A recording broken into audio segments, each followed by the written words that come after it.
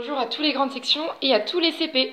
Alors, les vacances sont maintenant terminées, j'espère que vous en avez bien profité. Il est l'heure maintenant de reprendre l'école. Nous ne sommes toujours pas autorisés à aller à l'école, donc euh, nous allons reprendre pour euh, euh, quelques semaines encore l'école à la maison. Donc les enfants, je vous demande d'être très très concentrés dans votre travail à la maison, de faire comme si on était à l'école et d'être rigoureux. Euh, pour bien travailler tous les matins et tous les après-midi, il faut avoir son matériel. Donc je compte sur vous pour avoir votre trousse de travail avec tout ce qu'il faut à l'intérieur. Le ciseau, la colle, le stylo plume pour les CP avec des petites cartouches d'encre et le crayon à papier pour les grandes sections, une gomme, toujours.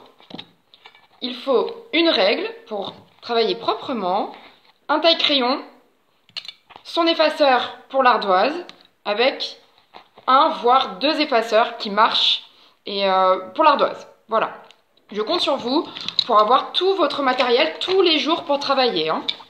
Alors, une fois qu'on a bien vérifié que sa trousse était complète, on n'oublie pas de préparer son livre de lecture, le livre Salto, d'accord?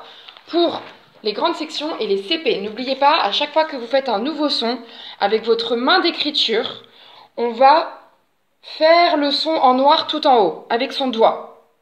Et ensuite, quand on lit, on met bien son doigt en dessous de chaque syllabe. Et on lit tranquillement, de syllabe en syllabe, jusqu'au bout du mot. On n'oublie pas de faire les liaisons pour les CP, euh, de faire attention aux lettres muettes, de bien parler fort, d'articuler et voilà, je répète, on lit jusqu'au bout du mot et on n'invente pas. Hein. on réfléchit bien à tous les sons qu'on a appris jusqu'à maintenant. Une fois qu'on a préparé son livre de lecture, pour l'écriture, pour les grandes sections, vous préparez votre cahier d'écriture, hein, que vous connaissez bien, et vous préparez un crayon à papier bien taillé et une gomme, et vous faites sur les pointillés quand c'est demandé. Vous n'oubliez pas de colorier les petites images qui vont avec le son qu'on va étudier, et de faire cet exercice de coloriage. On colorie quand on entend le son. Donc ça, vous verrez quand je vous dirai de le faire, euh, mais vous préparez bien votre cahier d'écriture. Pour l'ardoise, vous avez beaucoup d'exercices d'écriture à faire sur l'ardoise, pour les grandes sections encore une fois, et les CP aussi. On prend bien cette ardoise avec son feutre et son effaceur. Et on fait les lettres dans les lignes comme la maîtresse a appris. Donc on part toujours de la ligne de terre et euh, ensuite on voit s'il faut monter jusqu'à l'herbe ou jusqu'au ciel ou jusqu'au soleil. Et pareil pour descendre, on descend toujours jusqu'au ciel. Donc ça, il faut faire très très très attention. Je compte sur vous pour bien écrire et faire un très très gros effort.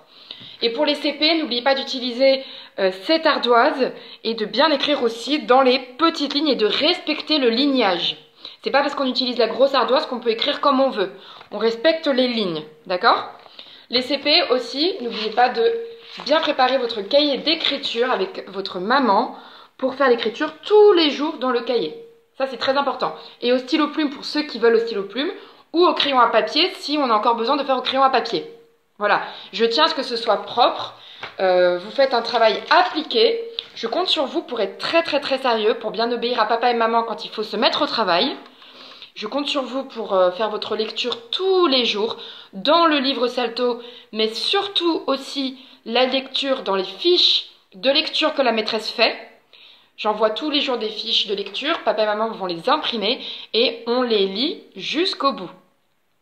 Soyez très attentifs, les CP, à tous les nouveaux sons que nous allons apprendre. Il y a encore beaucoup de sons complexes qu'on ne connaît pas et qu'on va apprendre euh, jusqu'à la fin de l'année. L'école n'est pas terminée. On reprend la classe mais à la maison et euh, nous allons peut-être revenir bientôt à l'école.